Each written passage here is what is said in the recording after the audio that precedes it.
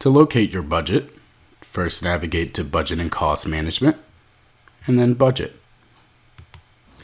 In the top left of your screen, choose the Add option to add a new budget item by entering the phase, spec section, category, and type, as well as the description, the original amount, and your status. Using the transfer icon, you can transfer amounts between budget codes.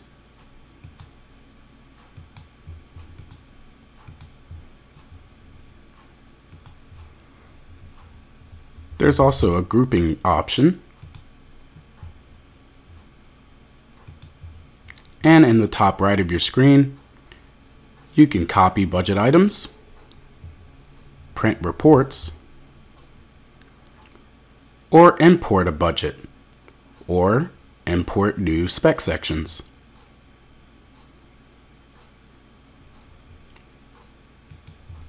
You can also filter out which columns you want to see on the screen. Now let's review each column within the budget. First, you have your budget code, description, and then status. Only items with a status other than approved are editable.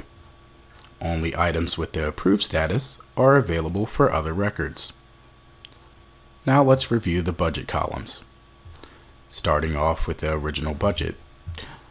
When a budget code is created or modified, a budget control transaction records the value in original budget. Budget approved revisions reflect PCO items with a budget allocation of approved.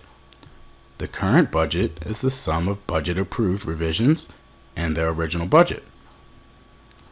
Budget pending revisions reflect PCO items with a budget allocation of pending. Budget approximate revisions reflect PCO items with a budget allocation of approximate. Projected budget is the sum of the current budget, budget pending revisions, and budget approximate revisions. Now on to the cost columns.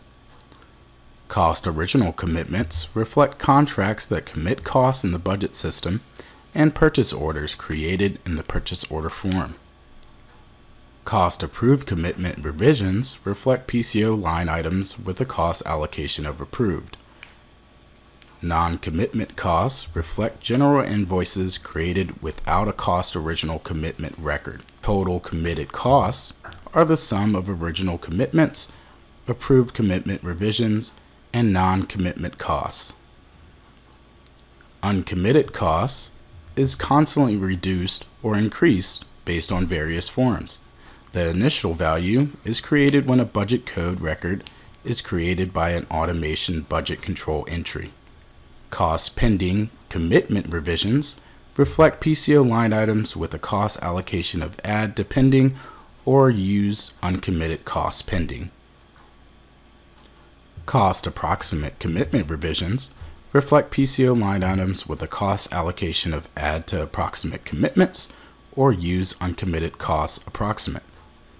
Projected costs are the sum of total committed costs, uncommitted costs, cost pending commitment revisions, and cost approximate commitment revisions.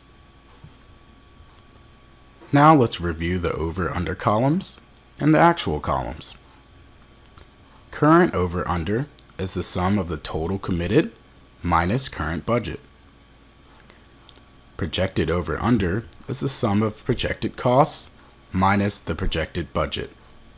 Actual cost this period reflects the sum of all contract invoices and general invoices for the current cost period.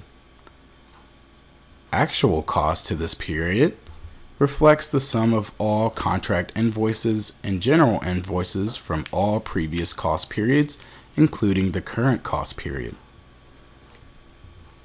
Actual cost to date is the sum of all contract invoices and general invoices based on the system date of your computer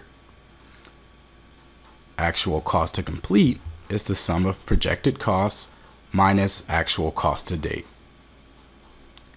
Actual percent complete reflects the sum of actual cost to date divided by projected costs. And lastly, let's review the forecast columns.